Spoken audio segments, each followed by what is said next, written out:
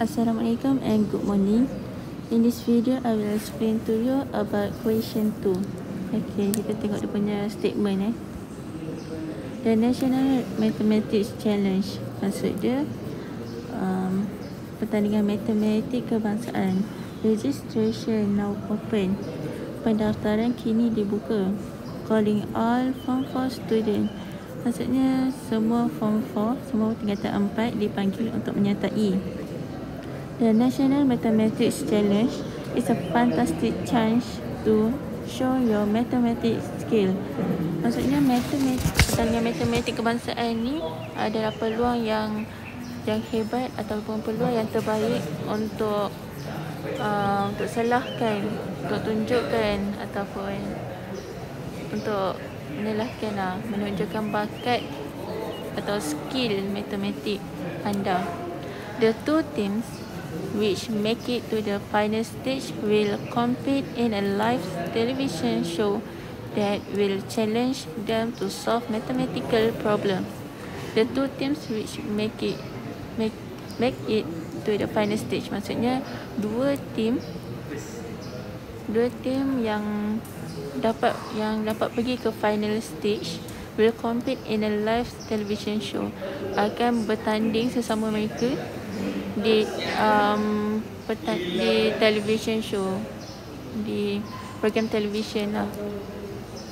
They will challenge them to solve mathematical problem. Akan mereka akan dicabar ataupun mereka perlu menyelesaikan matematik masalah matematik dalam dalam program tu the champions will show will the champions will win a prize of 2000 ringgit and a trophy. Pemenang akan akan membawa hadiah sebanyak 2000 ringgit dan sebuah trofi the first runners up will win 100 ringgit. Naib Johan akan Naib Johan akan membawa wang tunai sebanyak 1000 ringgit. Okay tengok dia punya question dia pula which statement is true about the National Mathematics Challenge? Dalam statement ni ataupun dalam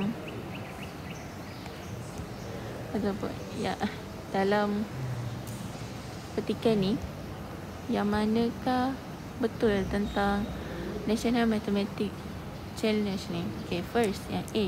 Winners will only receive cash award. Pemenang hanya akan hanya akan menerima hadiah wang tunai. Yang B pula, the competition is open to all secondary student. Semua eh, um, pertandingan ini dibuka untuk semua pelajar menengah. Untuk yang C pula, only the final two teams will be shown on live broadcast.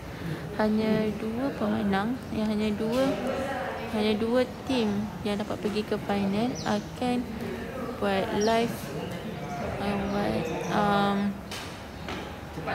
akan pergi ke live broadcast lah okay. hanya dua pasukan terakhir yang akan ditayangkan dalam siaran langsung okay. kalau yang A ni dia memang peserta memang pemenang akan bawa balik wang tunai tapi kalau tengok balik dia kata pemenang pun akan bawa balik sebuah trofi. Jadi A ni dia tak betul. Kalau yang B pula, the competition is open to all secondary students. Salah sebab dia cuma panggil untuk tingkatan empat sahaja.